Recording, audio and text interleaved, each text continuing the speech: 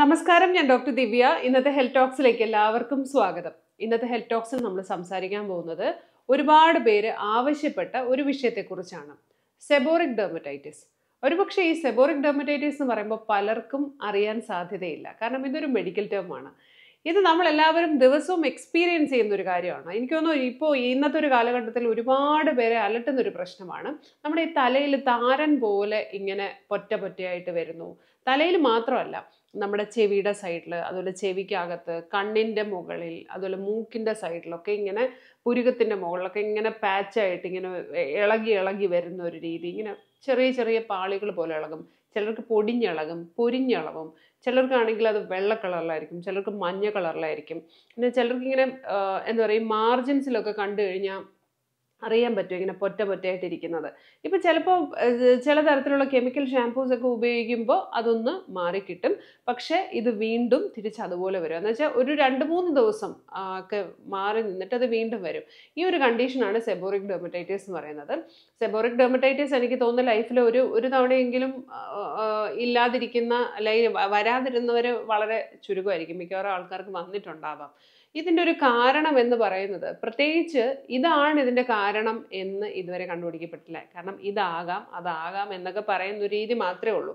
അതിൽ ഏറ്റവും ഇമ്പോർട്ടന്റ് ആയിട്ട് പറയുന്നത് നമ്മുടെ നമ്മൾ നമ്മൾ ഒരു തലയിലല്ല നമ്മുടെ ബോഡി ഫുള്ളായിട്ട് സിബം എന്ന് പറഞ്ഞിട്ട് ഒരു ഓയിൽ സെക്രേഷൻ ഉണ്ട്. അപ്പോൾ തലയിൽ അതൊരു ഒരു ഇച്ചിരി കൂടുതലാണ്. കാരണം അത് വാഷ് ചെയ്ത് കളയുന്നതിന്റെ ഒരു രീതിയിലുള്ള വ്യത്യാസമൊക്കെ ആകുമ്പോഴത്തേക്കും അത് കുറച്ച് കൂടുതലായിട്ട് പ്രൊഡക്ഷൻ ഉണ്ട് സിബത്തിന്റെ അപ്പോൾ ഇതിന് ഇതിനകത്ത് ഫീഡ് ചെയ്യുന്ന അല്ലെങ്കിൽ ഇത് ഭക്ഷിച്ച് ജീവിക്കുന്ന ഭക്ഷിച്ച് മീൻസ് ഒരു ലിറ്ററലി ഞാനൊരു ടേമായിട്ട് പറഞ്ഞതേ ഉള്ളൂ. ഇതിനെ ആഹാരമാക്കി അല്ലെങ്കിൽ ഇതിൽ വളരുന്ന ഒന്നാണ് ഒരു ഈസ്റ്റ് ഉണ്ട് മാലസിസി ഫർഫർ എന്ന് പറയുന്നത്. ഇതിന്റെ ഒരു ഗ്രോത്ത് ഇത് പോയിട്ട് അത് കൂടുതലായിട്ട് പെരുകും തോറും ഈ ഒരു സെബോറിക് ഡെർമറ്റൈറ്റിസ് എന്നുള്ള ഒരു കണ്ടീഷൻ കൂടി ഒരു സ്കാൽപ്പ് ഇറിറ്റേഷൻ എന്ന് പറയും. പ്രത്യേകിച്ച് ഈ ഒരു ശിരോചർമ്മത്തിലാണ് കൂടുതലായിട്ട് കാണുന്നത്. അപ്പം ആ ഒരു ഇറിറ്റേഷൻ കൂടി കൂടി വരാം. പിന്നെ മറ്റൊരു ഫാക്ടർ ഇപ്പം എന്റെ ഒരു പേഴ്സണൽ എക്സ്പീരിയൻസിൽ എനിക്ക് തോന്നിയിട്ടുള്ളതെന്ന് പറഞ്ഞു കഴിഞ്ഞാൽ മിക്കവാറും ഈ സ്ട്രെസ് ഉള്ള ആൾക്കാർക്ക് നല്ല ടെൻഷനുള്ള ആൾക്കാർക്ക് ഇതേപോലെ സെബോറിക് ഡെമറ്റേറ്റേഴ്സിന്റെ അവസ്ഥ അത് എപ്പോഴൊന്നും വരത്തില്ല. ചില ചില ചില ചില സമയത്ത് ചില ക്ലൈമറ്റ്സിൽ ചിലർക്ക് പരീക്ഷ വരുമ്പോൾ ചിലർക്ക് എന്തെങ്കിലും ഒരു ഫങ്ഷൻ വരുമ്പം അല്ലെങ്കിൽ ലൈഫിൽ എന്തെങ്കിലും കുറേ സ്ട്രെസ്സ് കാര്യങ്ങളൊക്കെ വരുമ്പോഴത്തേക്കും ഈ ഒരു സെബോറിക് ഡെമറ്റേറ്റേഴ്സ് നമ്മൾ കാണാറുണ്ട്. പിന്നെ നമ്മൾ കാണുന്നതെന്ന് പറഞ്ഞാൽ ഇമ്മ്യൂണിറ്റിയിൽ ചെറിയ ബുദ്ധിമുട്ട് വരും അതായത് ഇമ്മ്യൂൺ സിസ്റ്റം വീക്ക് ആവുന്ന ആൾക്കാർക്ക് അതായത് ചിലതരം ഇപ്പം സിസ്റ്റമിക് ലൂപ്പസ് എരിത്തമാറ്റിസ് പോലുള്ള കണ്ടീഷൻസിൽ അതല്ലെങ്കിൽ ഇമ്മ്യൂണിറ്റിയായിട്ട് ബന്ധപ്പെട്ട ചില അവസ്ഥകളുണ്ട്. നിരന്തരം സ്റ്റെറോയിഡ്സ് എടുക്കുന്നവർക്ക് ഇതിന്റെയൊക്കെ ഭാഗമായിട്ടും ഇതുപോലെ തന്നെ സെബോറിക് ഡെമറ്റൈറ്റിസ് കാണാറുണ്ട്. പിന്നെ മറ്റൊരു കാര്യം പറയുന്നത് പുവർ ഡയറ്റാണ് ഇപ്പം ബി കോംപ്ലക്സ് അതായത് B three B six B twelve ഇങ്ങനെയൊക്കെ തുടങ്ങിയ ഭക്ഷണം നമ്മുടെ ശരീരത്തിന് അല്ലെ നമ്മളെ ഭക്ഷണത്തിൽ നമ്മൾ ഉൾപ്പെടുത്താതിരിക്കുമ്പോൾ നമുക്ക് ഇതേപോലെ വരാം എന്താ പറയുക multi vitamins or nutrition deficiency കൊണ്ട് ഇതേപോലെ വരാം. ഇങ്ങനെ പല കാരണങ്ങളുണ്ട്. ഇനി കുട്ടികളിലേക്ക് വരുമ്പോൾ നമ്മൾ കുഞ്ഞു കുട്ടികളിൽ കണ്ടിട്ടുണ്ടല്ലോ ഇതേപോലെ തന്നെ ഇങ്ങനെ പൊളിഞ്ഞ് സ്കാൽപ്പിൽ ഇങ്ങനെ ചെറിയ പൊറ്റ പോലെയൊക്കെ ഇളകി വരും നമ്മൾ കണ്ടിട്ടുണ്ട്. ഇത് ക്രാഡിൽ ക്യാപ്പ് എന്നാണ് പറയുന്നത്. അതൊരു ഒരു ഘട്ടം കഴിയുമ്പോൾ തന്നെത്താനെ അങ്ങ് പോകാറാണ്. പതിവ്. ഒരു ഒരുപാട് അങ്ങ് സിവിയറായി പോകുമൊന്നുമില്ല അത്തരത്തിൽ സിവിയർ ആവുകയാണെങ്കിൽ തീർച്ചയായിട്ടും നമ്മൾ കൺസൾട്ടേഷൻ എടുക്കേണ്ട ഒരു ആവശ്യമുണ്ട്. അപ്പോൾ ഇതൊരു ജനറലായിട്ട് നമ്മൾ പറയുന്ന ഒരു കാര്യമാണ്. ഇനി ഈ സെബോറിക് ഡെർമറ്റൈറ്റിസ് എന്ന് പറയുമ്പോൾ ആദ്യത്തെ ഒരു ഘട്ടത്തിൽ നമുക്ക് വലിയ പ്രശ്നമൊന്നും ഉണ്ടാക്കത്തില്ല. ചിലർക്ക് മാത്രം കുറച്ചിങ്ങനെ ഈ പൊടിഞ്ഞിളകി വരുന്നത് നമുക്ക് പബ്ലിക്കിനെ ഫേസ് ചെയ്യുമ്പം കുറച്ചൊരു ബുദ്ധിമുട്ടാണ്. അതല്ലാത്ത പക്ഷം ചിലർക്ക് ചൊറിച്ചിലുണ്ടാവാം. ചിലർക്ക് ഈ ചൊറിഞ്ഞിത് പൊട്ടിക്കുന്ന ആൾക്കാരുണ്ട്. ഇങ്ങനെ അപ്പം അങ്ങനെ വരുമ്പോൾ ചില ഇൻഫെക്ഷനൊക്കെ വരാനുള്ള ഒരു സാധ്യതയുണ്ട്. പിന്നെ ചെവിക്കകത്തും ഈ ചെവിയുടെ ബാക്കിലും ഒക്കെ കുറച്ചിങ്ങനെ പൊരിഞ്ഞിളകി പൊട്ടിയൊക്കെ വരാറുണ്ട്. അപ്പോൾ ഇതിന് എന്താണ് ചെയ്യേണ്ടത് എന്നുള്ളതാണ് എല്ലാവർക്കും അറിയേണ്ട ഒരു കാര്യം എന്ന് പറയുന്നത്. എന്റെ ഒരു അഭിപ്രായത്തിൽ നമ്മൾ ഇപ്പോൾ സാധാരണ ഉപയോഗിക്കുന്ന പല തരത്തിലുള്ള കെമിക്കൽ കണ്ടൻസ് ഉള്ള ഷാമ്പൂസ് ഉണ്ട്. ഇപ്പോൾ കിറ്റോക്കിനോസോൾ പോലുള്ള കണ്ടൻസും അങ്ങനെയൊക്കെ ഉണ്ട്. ഇതൊക്കെ ഡോക്ടേഴ്സ് പറയുന്ന അഡ്വൈസ് ചെയ്യുന്നതെന്ന് പറഞ്ഞാൽ നിങ്ങളൊരു ഒരു ഫിക്സഡ് ആയിട്ട് ഒരു ടൈമിൽ ഉപയോഗിക്കാനാണ് ഇവരിത് പോയിട്ട് നിരന്തരം ഇത് ഉപയോഗിക്കുക ചെയ്യുന്നത്. നമ്മൾ നോർമൽ ഷാമ്പു ഉപയോഗിക്കുന്നത് പോലെ തന്നെ ഇത്തരത്തിലുള്ള കണ്ടൻസ് ഉപയോഗിക്കുമ്പോൾ ഇങ്ങനെയുള്ള ഈ ഒരു കണ്ടീഷൻ കുറച്ച് മാറും. പക്ഷെ നമ്മുടെ മുടി നല്ല രീതിയിൽ പൊഴിഞ്ഞു പോകും.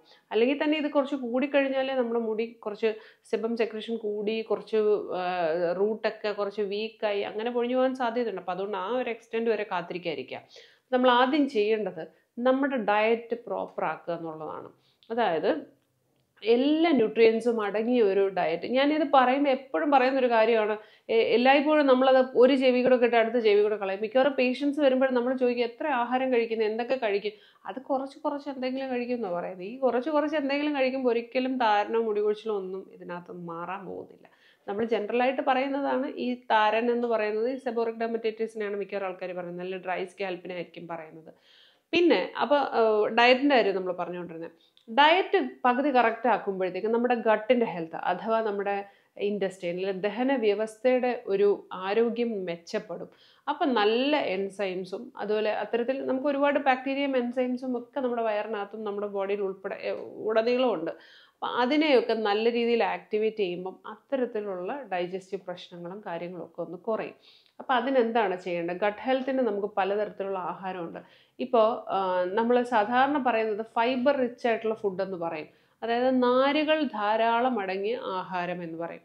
പൊതുവേ നമുക്ക് ഏറ്റവും കിട്ടുന്നത് ഫ്രൂട്ട്സ് വെജിറ്റബിൾസ് അത് ജ്യൂസ് അല്ല കേട്ടോ. അല്ലാതെ ഫ്രൂട്ട്സ് ആസറ്റീസ് കഴിക്കുമ്പോഴും വെജിറ്റബിൾസ് അങ്ങനെ കഴിക്കുമ്പോഴും അത് നമ്മുടെ അവിയൽ സാമ്പാർ തോരൻ എന്നൊക്കെ പറയുന്ന രീതിയിലും പിന്നെ ഫ്രൂട്ട് കട്ട്സ് ഒക്കെ കഴിക്കുമ്പോഴും നമുക്ക് ഇഷ്ടം പോലെ ഫൈബർ കിട്ടും. വാഴപ്പിണ്ടി വാഴക്കൂമ്പ് ഇതൊക്കെ ഞാൻ എപ്പോഴും പറയുന്ന കാര്യങ്ങളാണ് ഇതൊക്കെ കഴിച്ചു കഴിഞ്ഞാൽ അത്യാവശ്യം നമ്മുടെ വയറൊന്ന് ക്ലീൻ ആവും. അതൊരു കാര്യം. ഇമ്മ്യൂണിറ്റി ബൂസ്റ്റപ്പ് ചെയ്യാൻ ഏറ്റവും എളുപ്പത്തിൽ ചെയ്യാൻ പറ്റുന്നതെന്ന് പറഞ്ഞാൽ എല്ലാ ദിവസവും ഒരു നെല്ലിക്ക കഴിക്കുക എന്നുള്ളതാണ്. വൈറ്റമിൻ സി ഇൻടേക്ക് കൂട്ടുക. എല്ലാവരുടെ അടുത്ത് വൈറ്റമിൻ സി കഴിക്കാൻ പറയുമ്പോൾ ഞാൻ ഓരോ ടാബ്ലറ്റിന്റെ പേര് പറഞ്ഞിട്ടൊക്കെ അത് ഞാൻ വാങ്ങിച്ച് കഴിച്ചാൽ പോരെന്ന് ചോദിക്കും. എത്ര നാൾ ഈ ടാബ്ലറ്റ്സ് നമ്മൾ കഴിക്കും? ഒരു ഒരു സമയത്തേക്ക് കുറച്ച് നാളൊരു time being say for example ഒരു രണ്ട് മാസം. മൂന്ന് മാസമൊക്കെ വേണമെങ്കിൽ കഴിക്കാം. ഞാൻ അത് റെക്കമെൻഡ് ചെയ്യുന്നില്ല. കാരണം അതെല്ലാം സിന്തറ്റിക് ഫോമാണ് നമ്മളൊരു നാച്ചുറൽ സോഴ്സിൽ എടുത്താൽ മാത്രമേ നമുക്ക് അതിന്റെ ബൈ പ്രോഡക്ട്സിനെയും എൻ പ്രോഡക്ട്സിനെയൊക്കെ കുറയ്ക്കാൻ പറ്റുള്ളൂ. അത് അബ്സോർപ്ഷൻ കംപ്ലീറ്റ് ആയിട്ട് ശരീരത്തിന് ഒരു പ്രയാസം ഇല്ലാത്ത രീതിയിൽ നടത്താൻ പറ്റുള്ളൂ.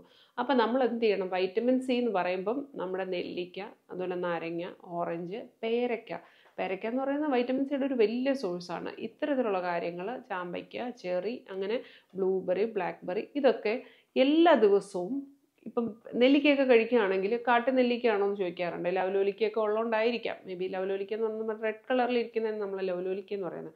അപ്പോൾ അത് നെല്ലിക്കയാണെങ്കിൽ നമ്മൾ ഒരു ദിവസം എല്ലാ ദിവസവും ഒരെണ്ണം കഴിക്കാൻ പറ്റുമോ നോക്കുക. ഇപ്പം നാരങ്ങയ്ക്ക ആണെങ്കിൽ ഉപ്പിട്ട നാരങ്ങ വെള്ളം കുടിക്കാം. അല്ലെങ്കിൽ ഏതെങ്കിലും ഫോമിൽ നമുക്കത് കഴിക്കാം. സാലഡ്സിന്റെ കൂടെ അങ്ങനെയൊക്കെ കഴിക്കാം.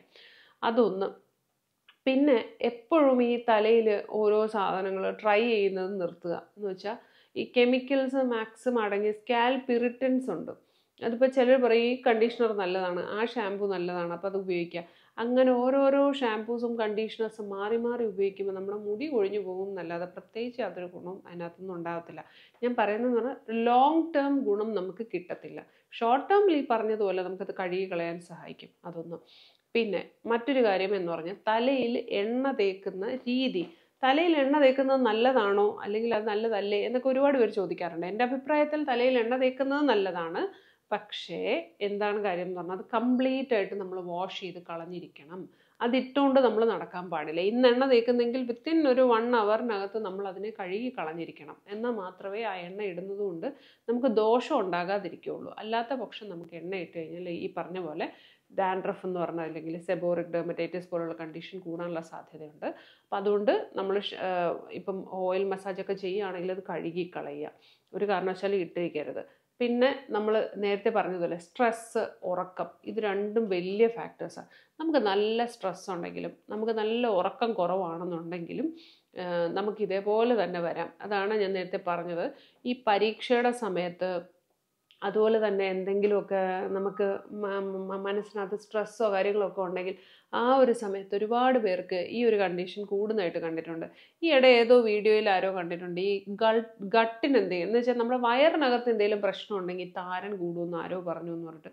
കുറേ പേഷ്യൻസ് പേടിച്ച് വന്നിട്ട് ചോദിക്കുന്നുണ്ട്. അത് അത്തരത്തിലൊരു പേടിക്കേണ്ട ഒരു കാര്യമല്ല. അത് ശ്രദ്ധിക്കേണ്ട ഒരു കാര്യമായിട്ട് പറഞ്ഞതായിരിക്കാം. മേ ബി ആരാണെന്ന് പറഞ്ഞുകൂടാ പക്ഷെ അങ്ങനെ നമ്മളത് പേടിക്കേണ്ട ആവശ്യമൊന്നുമില്ല. നമ്മൾ ശ്രദ്ധിക്കുക. ഞാൻ പറഞ്ഞതുപോലെ നമ്മൾ ഡയറ്റ് കറക്റ്റ് ചെയ്യുക.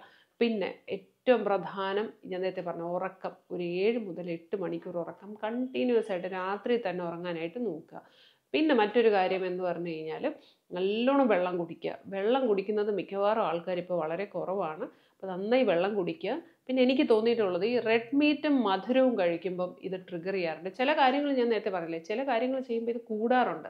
അത് എന്തൊക്കെയാണെന്നുള്ള അവരവർക്ക് മാത്രമേ അറിയുള്ളൂ. ഞാനിപ്പോൾ സ്ട്രെസ് ഉറക്കക്കുറവൊക്കെ പറഞ്ഞെങ്കിലും ചില ആൾക്കാർക്ക് മധുരം കൂടുതൽ കഴിക്കുമ്പോൾ വരുന്നത് പറയുന്നുണ്ട് അതുപോലെ തന്നെ റെഡ് മീറ്റ് കഴിക്കുമ്പം എണ്ണയിൽ വറുത്തത് പുരുഷൻ നിരന്തരം കഴിച്ചു കഴിഞ്ഞാൽ അതിന്റെ ഒരു അടുത്ത ആഴ്ച ആകുമ്പോഴത്തേക്കും ഭയങ്കരമായിട്ട് ചൊറിഞ്ഞ് വലിയ ബുദ്ധിമുട്ടാവുമെന്ന് പറയും. അപ്പോൾ ഇത് ഈ- ഇതൊക്കെയാണ് ഇതിനകത്ത് നമ്മൾ ശ്രദ്ധിക്കേണ്ട ഒരു കാര്യം ഡയറ്റ് മറ്റുള്ള കാര്യങ്ങൾ. പിന്നെ നമുക്കിത് ഹോമിയോപ്പതിയിൽ ഇതിന് നമ്മൾ ചെയ്യുന്നതെന്ന് പറഞ്ഞാൽ നമ്മളിത് ഇതൊരു ടെൻഡൻസിയാണ് ഞാൻ നേരത്തെ പറഞ്ഞ പോലെ ബോഡിയുടെ ഇമ്മ്യൂണിറ്റി ബൂസ്റ്റപ്പ് ചെയ്യുക എന്നുള്ളതാണ്. അതിന് വേണ്ടിയിട്ടുള്ള മെഡിസിൻസ് ഉണ്ട്. അത് both internal and external application ഉണ്ട്. പിന്നെ ട്രീറ്റ്മെന്റ്സ് ഉണ്ട്. നമ്മൾ പുറമേ ചെയ്യുന്ന ട്രീറ്റ്മെന്റ്സ് ആണ്. അത് ക്ലിനിക്കിൽ ചെയ്യുന്ന പ്രൊസീജിയറാണ് അങ്ങനത്തെ ഉള്ള ട്രീറ്റ്മെന്റ്സ് ഉണ്ട്. ഇത് മൂന്നും കൂടെ കമ്പൈൻ ചെയ്തിട്ട് നമുക്ക് ചെയ്തിട്ട് അതിന്റെ കൂടെ ഞാൻ നേരത്തെ പറഞ്ഞ പോലെയുള്ള ലൈഫ് സ്റ്റൈൽ മാനേജ്മെന്റും വളരെ നിർബന്ധമാണ്. ഇനി എല്ലാവർക്കും അറിയേണ്ട ഒരു കാര്യം ഇത് പകരുമെന്നുള്ളതാണ് ഇതങ്ങനെ ഒരു കണ്ടേജിയസ് ആയിട്ട് അങ്ങനെ ഭയങ്കരമായി പകരുന്ന ഒരു രീതിയിലുള്ള കാര്യമല്ല. പക്ഷെ നമ്മൾ നല്ലതായിട്ട് ശ്രദ്ധിക്കണം. ഒരു എന്ന് പറയാം നമ്മൾ ഒരുപാട് മിക്സ് ചെയ്ത് അങ്ങനെ എല്ലാവരുടെയും ചീപ്പുകളും കാര്യങ്ങളും തോർത്തും അല്ലെങ്കിൽ പില്ലോ കവറും അങ്ങനെ ഒന്നും ഉപയോഗിക്കാതിരിക്കുക. അത് നിരന്തരം നമ്മൾ മാറ്റി കറക്റ്റാക്കി വയ്ക്കുക. അല്ലെങ്കിൽ നമുക്ക് മുഖക്കുരു പോലുള്ള കാര്യങ്ങൾ വരാനോ അല്ലെ ബോഡി ആക്ടിന് വരാനോ ഒക്കെ ഉള്ള ഒരു സാധ്യതയുണ്ട്. അപ്പം ഞാൻ ഇന്ന് ഈ പറഞ്ഞ കാര്യം ഒരുപാട് പേര് ആവശ്യപ്പെട്ടൊരു കാര്യമാണ്. എല്ലാവരും താരൻ താരൻ എന്ന് പറയും. ചിലർ ടേമായിട്ട് തന്നെ പറയും സെബോറിക് ഡെമറ്റൈറ്റിസ് വീഡിയോ ഇടണം എന്നൊക്കെ. അപ്പോൾ എല്ലാവർക്കും ഇഷ്ടപ്പെട്ട് കാണുമെന്ന് പ്രതീക്ഷിക്കുന്നു. Thank you so much and keep watching